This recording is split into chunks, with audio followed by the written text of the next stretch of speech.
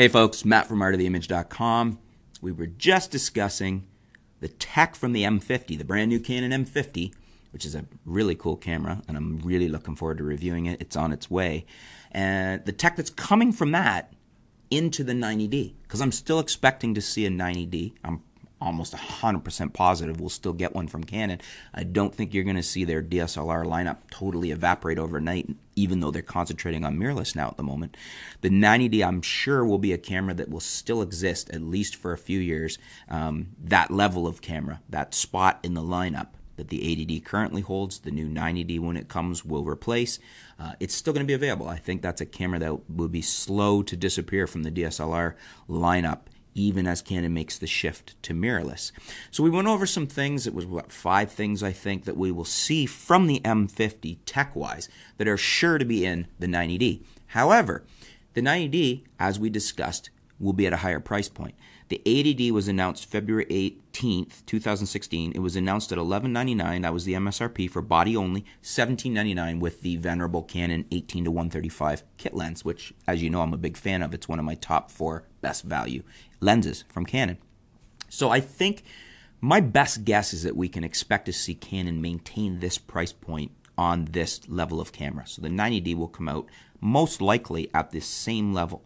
$11.99 for the body, $17.99 for the kit. And it'll probably have the latest version of the 18 to 135, which is probably the USM lens.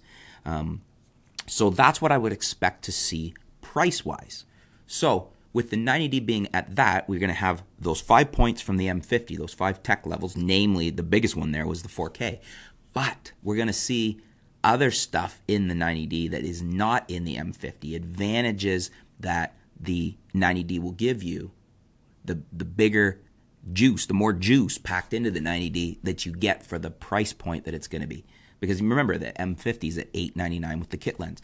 I've made a list of, I think we got close to 10 things here that you can expect to see in the 90D that the M50 will not have. First up is the battery. We've got a bigger, fatter battery in the 80D. You can expect to see a similar iteration of that, if not the same battery. It's been around for a while. It'll probably be the same one or just a new version, like an A version of it, in the 90D. And that's going to give us a longer battery life, both for stills, number of shots you can do, and also for video and just for time using the uh, live view and whatnot. So can, that's going to be an advantage that a lot of people will like over the M50. Now the M50 is a smaller and lighter camera. The 90D is going to be probably the same size and roughly the same weight and whatnot as the 80D. But one of the advantages you get with that slightly bigger camera is the bigger battery and the longer battery life. So that's the first one. Second point is the native lens selection. Yes, with the M50, you can get the EOS M adapter and you can use the whole Canon lineup, but you got to have the adapter and they're not native lenses to that camera. The M series is is the native lenses are the M series of lenses, and you need the adapter in order to start using the EFS lenses and the other Canon lenses. So the 90D does have the advantage of those wide, wide, beautiful selection of Canon lenses that are native to it without any adapter. For some people, that'll be an issue. For some people, it's not. The adapter isn't expensive. I think it's around 199 but you don't need an adapter on the 90D. You just natively get to use their existing full catalog. The next item on the list is the top deck display. The 80D has that. The 90D will continue to have that. It will be a similar looking body, and we don't have that on the M50. It's a smaller, lighter body, and that's one of the things we sacrifice. And, and, and by, in all fairness, a lot of mirrorless cameras don't have a top deck display. Fourth on the list is the headphone jack. We have that on the current 80D. The 90D, you can expect to still maintain that, and it's something that people that shoot video really like, and it's a something that can be a deal killer for video shooters. It really enables running gun and less gear and getting on site and setting up quick and being able to have that without using additional accessories for audio. We don't have that in the M50. We will have that in the 90D as we did in the 80D. Next up is the shot buffer. We've got a deeper JPEG shot buffer and a deeper RAW shot buffer on the 80D in comparison to the current M50. I think you can probably expect to see that widened even more in the 90D offering. In other words, I think you'll have an even better shot buffer on the 90D than you did on the 80D, which was already better than the M50s. So expect to see a deeper buffer for both JPEG and RAW on the 90D, and that will be an advantage over the M50. And for some people, you add all these together, and again, it's another tipping factor. Another key point is the faster shutter. The 80D currently is a 1 8 thousandth shutter. The M50 has a 1 4 thousandths. Uh, for a lot of people, that's a, that can be a big deal. Outside, bright light, shooting situations, advantage 80D, and I think we're going to continue to see that in the 90D. And again, it's a fairly big point for some people, and when you add it in with all the other points, it's going to push you to a 90D over an M50 if that's the type of thing that matters to you. The next point is the autofocus system. Now, we can expect to see at least a level of autofocus in the 80D as well as the current amazing dual pixel AF.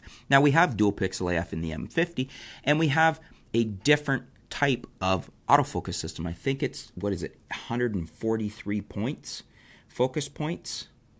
Yes, 143 AF points is what Canon bills the M50 at. Does that make it a better autofocus system than the 80D? I'm not sure. It's a different autofocus system. The 80D has 45 cross type AF points. Very strong offering in an autofocus system. Is it better? I haven't shot them both side by side. When I get the M50 and I'll have a much better idea.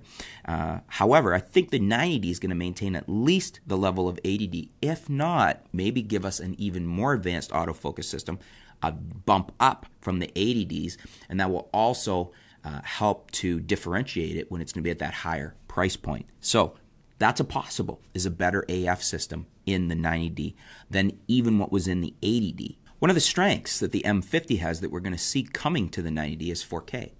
But that begs the question what level of 4K? Are we going to get the same 4K with the heavy crop factor, the 2.5, 2.56 times crop factor for 4K? Or are we going to see less of a crop factor and perhaps a better codec and more options? It's possible, and that could be again part of Canon's strategy to differentiate the lineup. The other thing we could see is pertaining to the 4K is we could see a better 4K in the sense that dual pixel AF could work with the 4K in the 90D. We know dual pixel AF can work in 4K because we have it in the 5D Mark IV and it works great. Canon has just kind of made this decision that that's not something they're going to give us at an 899 price point with the M50.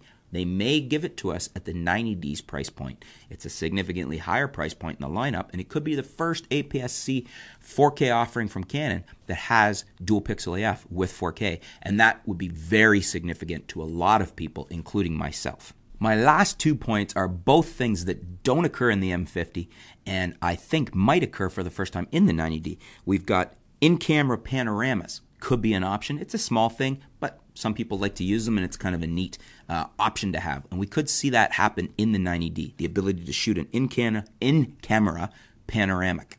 And that would be a, a, neat option, a nice option to have. The other thing is built in GPS. We don't have that in the M50. Actually, I don't think we have that in the 80D currently right now. So it could be just another way to pack the 90D a little bit without being overly threatening to Canon and give us that extra value at the price point it's going to be at. So there you go, folks. Those are what I guess it was about 10 features I think you're going to see in the 90D that aren't in the M50. 10 reasons that the 90D may be a better value for you at a higher price point than the current M50, which looks amazing in its own right. What do you guys think? What do you think of these features? Are any of them deal breakers? Which ones are more important to you?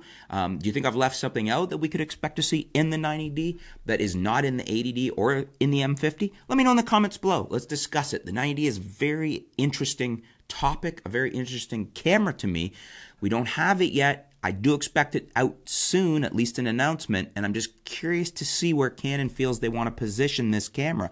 We know where it sits in the lineup for DSLRs, but when I say where they're going to position it, I'm wondering how they're going to position it technically. How strong of an offering is this camera going to be in comparison to the M50? Let me know what you guys think in the comments below. Let's discuss it. Thanks for tuning in. Stay tuned. We'll be back soon here at artoftheimage.com.